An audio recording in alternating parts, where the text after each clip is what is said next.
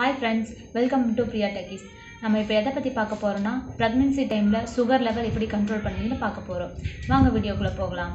இப்போ ப்ரெக்னென்சி டைமில் பார்த்தீங்கன்னா எல்லாத்துக்கும் வந்து சுகர் சுகர் லெவல் வந்து அதிகமாக இருக்குதுன்னு வந்து டாக்டர் சொல்லுவாங்க. அதை இப்போ எப்படி கண்ட்ரோல் பண்ணுறதுன்னு நம்ம இப்போ பார்க்க போகிறோம் இப்போ சுகர் லெவல் பார்த்தீங்கன்னா உங்கள் அம்மாவுக்கோ அப்பாவுக்கோ சுகர் இருந்தாலோ அல்லது உங்கள் குழந்த ஃபஸ்ட்டு பேபி வந்து வெயிட் அதிகமாக இருந்தாலும் உங்களுக்கு வந்து செகண்ட் பேபிக்கு சுகர் வர்றதுக்கு அதிகமாக சான்சஸ் இருக்குது நம்ம இப்போ டயட் சார்ட் மூலமாக எப்படி அந்த சுகரை கண்ட்ரோல் பண்ணுறதுன்னு வாங்க பார்க்கலாம். ஃபஸ்ட்டு பார்த்தீங்கன்னா டிஃபன் வகைகள். நீங்கள் ஏதோ ஒரு டிஃபன் வகைகள் எடுத்துக்கலாம். அது டிஃபன் வகைன்னு பார்த்தீங்கன்னா சிறுதானிய வகைகள் டிஃபனாக நீங்கள் ஏதோ ஒன்று எடுத்துக்கலாம். தோசையாகவோ ரொட்டியாகவோ நீங்கள் எடுத்துக்கலாம். செகண்ட் ஒன் பார்த்தீங்கன்னா தண்ணி. தண்ணி பார்த்தீங்கன்னா காலையிலேருந்து சாயந்தரம் வரைக்குள்ளே நீங்கள் ஒரு மூணு லிட்டர் அல்லது நாலு லிட்டர் எடுத்துக்குங்க. அதுவும் வந்து அப்படியே வந்து நிறைய குடிக்கக்கூடாது. கொஞ்சம் கொஞ்சமாக வந்து நீங்கள் வந்து தண்ணி எடுத்துக்குங்க. மதியம் பார்த்தீங்கன்னா சாதம். சாப்பாடை வந்து கம்மியாகவும் காய்கள் வந்து அதிகமாகவும் நீங்கள் எடுத்துக்குங்க. சாப்பாடு அதிகமாக எடுத்திங்கன்னா உங்களுக்கு வந்து சுகர் லெவல் அதிகமாயிரும். இப்போது ப்ரெக்னென்சி டைமில் பார்த்தீங்கன்னா உங்களுக்கு அதிகமாக பசிக்கும். நீங்கள் சாப்பாடு அதிகமாக எடுத்துக்காதீங்க.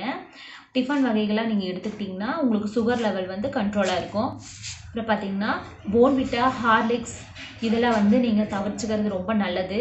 நீங்கள் டீ காஃபி குடிக்கணும் அப்படின்னு பார்த்தீங்கன்னா அதில் வந்து சுகர் போடாமல் வந்து நீங்கள் டீ காஃபி எடுத்துக்கலாம். கூழ் வகைகள். நீங்கள் கூழ் வகைகள் வந்து அவாய்ட் பண்ணுறது நல்லது. நான் போன வீடியோவில் வந்து நான் கூழ் வகைகள் எடுத்துக்கலாம் அப்படின்னு வந்து நான் சொன்னேன். ஆனால் பார்த்தீங்கன்னா நார்மலாக இருக்கிறவங்க வந்து கூழ் வகைகள் எடுத்துக்கலாம். நீங்கள் சுகர் இருக்கிறவங்க வந்து கூழ் வகைகள் தவிர்க்கிறது ரொம்ப நல்லது.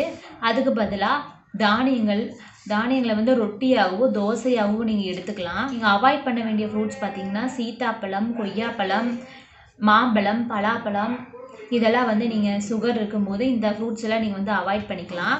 எடுத்துக்க வேண்டிய ஃப்ரூட்ஸ் பார்த்தீங்கன்னா மாதுளை ஆரஞ்சு வெள்ளரி கொய்யாக்காய். நான் வந்து கொய்யாக்காய் வந்து கொய்யா பழம் வந்து தவிச்சுக்கன்னு சொன்னேன். கொய்யாக்காய் எடுத்துக்கலாம். தர்பூசணி பா பெரிய நெல்லிக்காய். பெரிய நெல்லிக்காய் இந்த மாதிரி ஃப்ரூட்ஸ் எல்லாம் நீங்கள் எடுத்துக்கலாம்.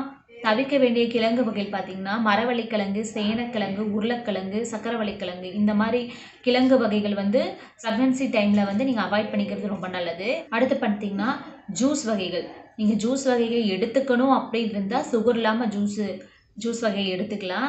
இல்லைன்னு பார்த்தீங்கன்னா ஜூ ஃப்ரூட்ஸ் வந்து அப்படியே நீங்கள் கடித்து உமிழ் நீரோடு சாப்பிட்டிங்கன்னா உங்களுக்கு ரொம்ப நல்லது. சுகர் கண்ட்ரோலாகவும் இருக்கும். பன் பிரெட் மைதா இந்த மாதிரி ஐட்டங்கள்லாம் நீங்கள் நீங்கள் வந்து அவாய்ட் பண்ணுறது ரொம்ப நல்லது. அப்புறம் பார்த்தீங்கன்னா ப்ரெக்னென்சி டைமில் வந்து நம்மளுக்கு வளகாப்பு போடுவாங்க. அப்போ பார்த்தீங்கன்னா கலர் கலராக ஸ்வீட்ஸ் கொண்டு வந்து வைப்பாங்க. நம்மளுக்கு அந்த ஸ்வீட் நல்லா இருக்குது இந்த ஸ்வீட் நல்லா இருக்குன்னு நம்ம வந்து எடுத்து சாப்பிட்லான்னு உங்களுக்கு தோணும்.